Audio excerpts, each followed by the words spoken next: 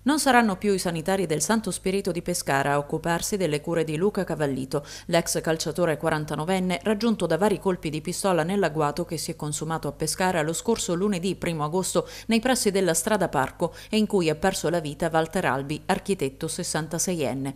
I due amici si trovavano proprio nel bar del parco quando un uomo armato e con un casco integrale ha fatto fuoco sui due uomini ferendo a morte il 66enne. Mentre le indagini vanno avanti a ritmo serrato e nel massimo riservo per risalire all'identità dell'aggressore che ha sparato contro Albi e Cavallito e per individuare l'eventuale mandante di questo agguato, la notizia delle ultime ore riguarda proprio Luca Cavallito, trasportato al Gemelli di Roma per complicanze epatiche.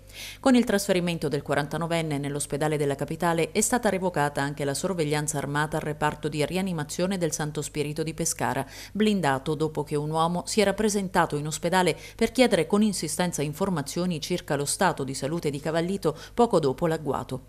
Nel nosocomio pescarese l'ex calciatore era stato sottoposto a più interventi chirurgici prima di essere ricoverato in rianimazione. Nell'agguato del primo agosto era stato raggiunto da almeno quattro colpi, riportando lesioni a torace, addome, arto superiore destro e volto.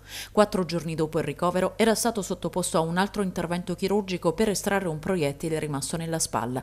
Adesso le sue cure sono affidate ai sanitari del Gemelli di Roma.